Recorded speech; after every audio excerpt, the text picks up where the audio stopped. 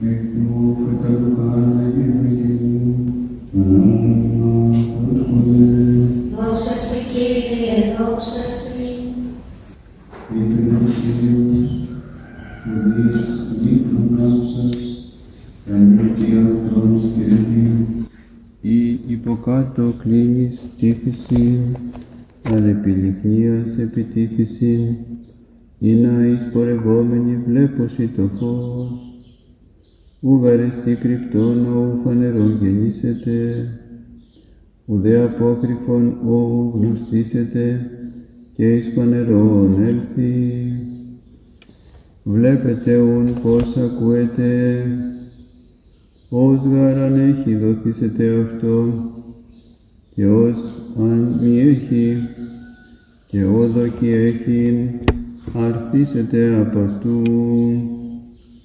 Παρεγαίνοντο δε προς αυτόν η μήτηρ και η αδελφή αυτού, και ούκη δύνατο συντυχήν αυτό, δια των όπλων, και απηγέλθει αυτό λεγόντων, η μήτηρ σου και η αδελφή σου εστίκασιν έξω, ήδη σε θέλοντες. Ουδέ αποκριθείς είπε προς αυτούς, μήτηρ μου και αδελφή μου, ούτε εσύ, ή των λόγων του Θεού ακούοντες, και ποιούντες αυτό. Δόξα σε Κύριε, δόξα σε. Η Αγία Άννα που εορτάζουμε σήμερα και ο Άγιος Ιωακήμ, όπως έλεγε ο Άγιος Πορφύριος, αναδείχθηκαν το αγιότερο ζευγάρι που πέρασε ποτέ από τη γη. Και αξιώθηκαν γι' αυτό να γεννήσουν την υπεραγία Θεοτόκου από την οποία γεννήθηκε ο Κύριος μας Ιησούς Χριστός. Και η αγιώτης απαιτεί και εγκράτεια στις τροφές και εγκράτεια γενικότερη στις αισθήσεις και σε κάθε τι το οποίο συμβάλλει ή το οποίο συνθέτει θα λέγαμε τον άνθρωπο ως σώμα και ψυχή και συνδέεται με τις συνήθειες και με τις πράξεις του σώματος και της ψυχής αλλά και με τους λογισμούς. Γι' αυτό λέει ο Απόστολος εγκράτεια εις πάντα και οι Άγιοι αυτοί βεβαίως αναδύθηκαν εγκρατείς και συνήλθαν κατόπιν εντολής του Θεού σε πολύ μεγάλη ηλικία και παρόλη την ατεκνία της Αγίας Άνης συνέλαβαν την υπεραγία Θεοτόκου. Εγκράτεια είναι, λέει ο Ιερός το να μην παρασύρεις από τα πάθη. Μπορούμε να πούμε εγκρατή και καρτερικό αυτόν που ενοχλείται από επιθυμίες αλλά τις συγκρατεί. Βέβαια ο Άγιος Ιωακήμ και η Γιάννα είχαν ξεπεράσει τα πάθη τους. Ήταν το απαθέστερο ζευγάρι όπως έλεγε ο Άγιος Παΐσιος που πέρασε από τη γη.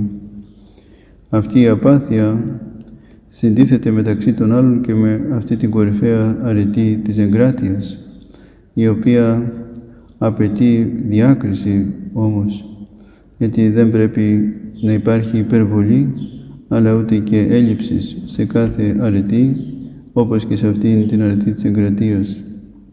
Όταν το σώμα είναι βαρύ από πολλά φαγητά κάνει το νου δειλό και δυσκίνητο λέει ο Άγιος Διάδοχος Φωτικής στο 45ο από τα 100 πρακτικά κεφάλαιά του που βρίσκονται στον ασκητικό του λόγο στον πρώτο τόμο της Λοκαλίας.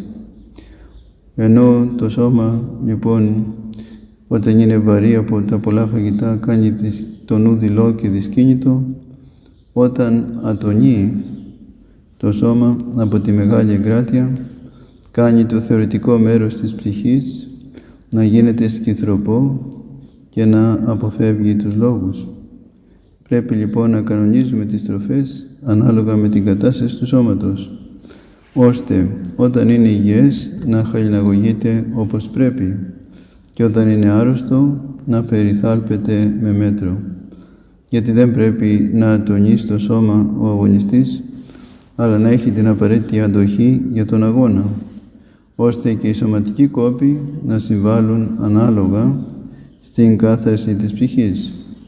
Δεν πρέπει να καταστραφεί το σώμα, αλλά να φωνευτούν τα πάθη.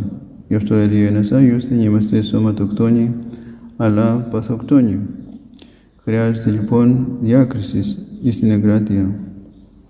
Από την άλλη βέβαια δεν πρέπει και να πέφτουμε στην υπερβολή και να αφήνουμε τελείως την εγκράτεια αλλά ούτε και να πηγαίνουμε πάλι σε πολύ μεγάλη εγκράτεια παραπάνω από όσο πρέπει και ατονεί το σώμα και δεν μπορεί να πράττει η ψυχή δια του σώματος τα έργα της μετανοίας και να εκφράζει δια του σώματος τη μετάνοιά της. Οφείλουμε να γνωρίζουμε, όπως λέει ο Ρωσόστομος, ότι ο καιρός της νηστείας δεν είναι πάντοτε, αλλά ο καιρός της εγκρατείας είναι πάντοτε. Όλη η παρούσα ζωή είναι αγώνας και πάλι. Πρέπει να μπαίνουμε στο στάδιο αυτό της αρετής με εγκράτεια σε όλα. Καθένας που αγωνίζεται εγκρατεύεται σε όλα, λέει ο Απόστολος στην πρώτη Πασκονθίους. Δεν βλέπεις τι γίνεται στους γυμναστικούς αγώνες, πώς φροντίζουν πολύ για τον εαυτό τους όσοι δέχονται να παλέψουν με κάποιο αντίπαλο, με πόση εγκράτεια εξασκούνται σωματικά; Αλλά όπως είπαμε θα πρέπει να υπάρχει μέτρο και να μην ατονεί υπερβολικά το σώμα από την υπερβολική, από την υπέρμετρη ε, νηστεία και εγκράτεια. Ον τρόπον υποπλήθους βρωμάτων, λέει στο πρωτότυπο ο Άγιος Διάδοχος, στο 45ο από τους, ε, στο, στο 45ο κεφάλαιό του, ον τρόπον λέγει υποπλήθους βρωμάτων, βαρινόμενο το σώμα, δηλών τεινά και δυσκίνητον το νου να περγάζεται, ούτω και εξατονούν υπό πολλής εγκρατείας, στιγνώνται και αφιλόλογον το θεωρητικό της ψυχής υπό επιτελεί μέρος. Με όποιο τρόπο το σώμα, όταν γίνεται βαρύ από το πλήθος των φαγητών, κάνει το νου κάπως δειλό και δυσκίνητο, κατά τον ίδιο τρόπο και όταν αδυνατίζει από την πολλή εγκράτεια, καθιστά το θεωρητικό μέρος της ψυχής περίλυπο και επιπλέον να μην αγαπά τα λόγια. Επηρεάζει λοιπόν η ψυχή το σώμα, αλλά και το σώμα την ψυχή.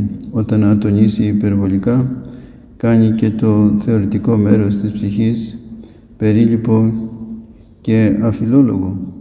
Δίουν προς τα στου σώματος κινήσεις και τα τροφάς ευτρεπίζεστε. Πρέπει επομένως να ετοιμάζουμε τους εαυτούς μας ανάλογα με τις κινήσεις του σώματος και τις τροφές για να το ρυθμίζουμε. Ή να ότε μένει γέννη κολλάζεται πρεπόντος έτσι ώστε όταν με το σώμα είναι υγιές να παιδαγωγείται με τον πρέποντα τρόπο. Ότε δε ασθενεί πιένει το μετρίος και όταν ασθενεί μπορεί συμμέτρως να ενισχύεται. Ούγαρ ατονίν δι το σώματι των αγωνιζόμενων. Γιατί δεν πρέπει να δυνατίζει κατά το σώμα ο αγωνιζόμενος αλλά όσον αρκεί προς τον αγώνα δύναστε. Αλλά τόσο μόνο όσο να μπορεί να επαρκεί στον αγώνα. Ή να κάνει τις πόνες του σώματος και η ψυχή πρεπόντος καθαίριτο για να μπορεί ακόμα και με τους κόπους του σώματος να καθαρίζεται και η ψυχή με τον πρέποντα τρόπο. Όποιος, λέει ο Ρεσόστομος, δεν παραδίνεται στη γαστριμαργία, κάθεται στο λιμάνι και παρακολουθεί τα ναυάγια των άλλων, ενώ εκείνος απολαμβάνει καθαρή και διαρκή ειδονή και ζει τη ζωή που αρμόζει σε έναν ελεύθερο άνθρωπο. Αφού λοιπόν κατανοήσουμε αυτά, ας αποφεύγουμε τα αμαρτωλάς συμπόσια με τις απολαύσεις και ας προτιμάμε απλή και μετρημένη τροφή, ώστε με καλή διάθεση σωματική και ψυχική να καλλιεργήσουμε κάθε ρητή και να αξιοθούμε των μελόντων αγαθών. Αν και δύσκολα υποχωρεί η επιθυμία και η τυραννία της κοιλίας, όμως την χαλιναγωγώ, λέει ο Ιεροσόστομος. Μην νομίζετε ότι χωρίς αγώνα τα κατορθώνω αυτά. Και μάλιστα πρόκειται για αγώνα δρόμου και πάλης και πυγμαχίας, μαζί και η καταπίεση της φύσεως, που συνεχώς επαναστατεί και επιθυμεί να πράττει τα ασίδωτα.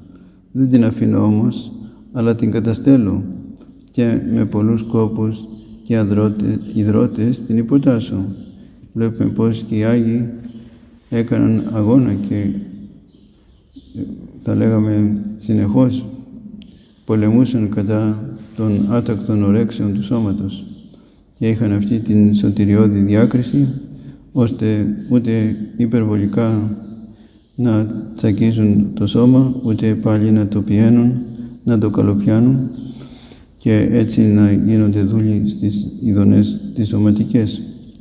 Ας εγκολποθούμε κι εμείς την εγκράτεια με διάκριση για να προχωρήσουμε πνευματικά και να ευαριστήσουμε στο Θεό και να αξιοθούμε και της σωτηρίας. Το δε Θεό δόξα πάντοτε νίκαια ή και εις τους αιώνας των αιώνων. Αμήν.